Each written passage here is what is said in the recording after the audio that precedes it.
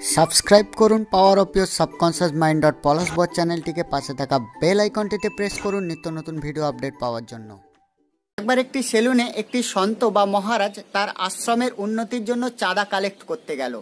তখন সেলুনে যিনি চুল কাটছিলেন সেই নাপিত সেই সন্ত বা মহারাজকে বললেন যে, মহারাজ, আমি কেন আপনাদেরকে চাঁদা দেব? আপনারা এই যে চাঁদা কালেক্ট করছেন, এই চাঁদা নিয়ে আপনারা ঈশ্বরের পরিষেবা দেন বা ঈশ্বরের উন্নতির জন্য বা ঈশ্বর সাধনা করেন। তো অ্যাকচুয়াল বাস্তবে তো ঈশ্বর বা আল্লাহ বা ভগবান বলে কিছু নেই। তখন সন্ত সেই নাপিতকে জিজ্ঞাসা করলেন যে, তোমার কি দেখে বা কীভাবে মনে হচ্ছে যে এই বিশ্ব ব্রহ্মাণ্ডে ঈশ্বর, আল্লাহ বা গড নেই। তখন নাপিত বলল, আপনি একটু বস্তির দিকে যদি যান, দেখতে পাবেন যে কত মানুষ দুঃখের সাথে আছে, কত মানুষ না খেতে পেয়ে থাকছে। ঈশ্বর, আল্লাহ বা গড বলে যদি কোনো সুপার পাওয়ার থাকতো, তাহলে নিশ্চয়ই মানুষদের এত অসহায় অবস্থায় থাকতে হতো না। প্রত্যেকটা মানুষকে এত কষ্টের মধ্যে দিন যাপন করতে হতো না। তখন সন্ত বা মহারাজ সেই নাপিতকে বললেন, ঠিক আছে, তোমার কথা আমি মানলাম। তুমি আমার সাথে একটু বাইরের দিকে এসো। তখন নাপিত সেই মহারাজের সাথে বাইরের দিকে যাচ্ছে।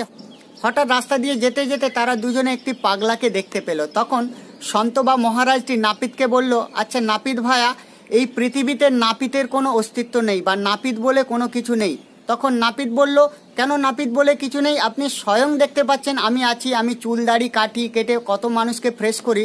তখন সন্ত বা মহারাজটি বলল যে, তুমি যদি চুল দাড়ি কেটে প্রত্যেকটা মানুষকে ফ্রেশ করে দাও, তাহলে এই মানুষটির কেন এত চুল দাড়ি আছে? এই মানুষটির কেন চুল দাড়ি কামানো অবস্থায় নেই? তখন নাপিত বলল, উনি আমার কাছে আসেননি, তাই ওনার চুল দাড়ি কাটা হয়নি। তখন সন্ত মহারাজটি মৃদু হেসে নাপিতকে বললেন, আপনি ঠিক বলেছেন। এমন করে এই পাগল ব্যক্তিটি নাপিতের কাছে আসেননি বলে ওর চুল দাড়ি কামানো হয়নি।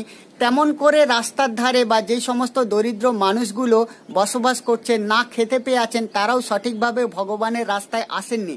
তাই তাদের এই দুর্দশা। তো নাপিত্রী তার ভুল বুঝতে পারল, পেরে সন্ত মহারাজের কাছে ক্ষমা চাইল। এই গল্পটা থেকে আমরা শিক্ষা পাই যে আমাদের জীবনে যা কিছু ঘটে বা আমরা যা কিছু ভোগ করি বা যা কিছু দেখতে পাই, শুধুমাত্র তারই অস্তিত্ব অনেক সময় স্বীকার করি। যা কিছু আমরা দেখি না, অনেক সময় তার অস্তিত্ব আমরা স্বীকার করতে পারি না, বন্ধুরা।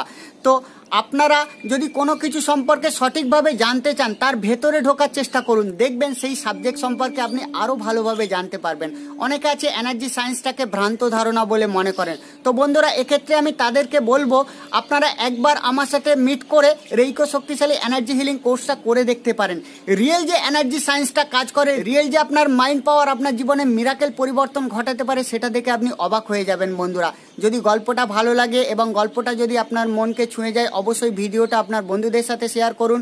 পরবর্তীকালে এই রকমের আকর্ষণীয় মোটিভেশন ভিডিও নিয়ে আমি আসছি। আজকের মতো আমি আপনাদের থেকে বিদায় নিচ্ছি। আমি আপনাদের চিরবন্ধু পলস্পর এই কেউ শক্তিশালী এনার্জি লিঙ্ক টিচার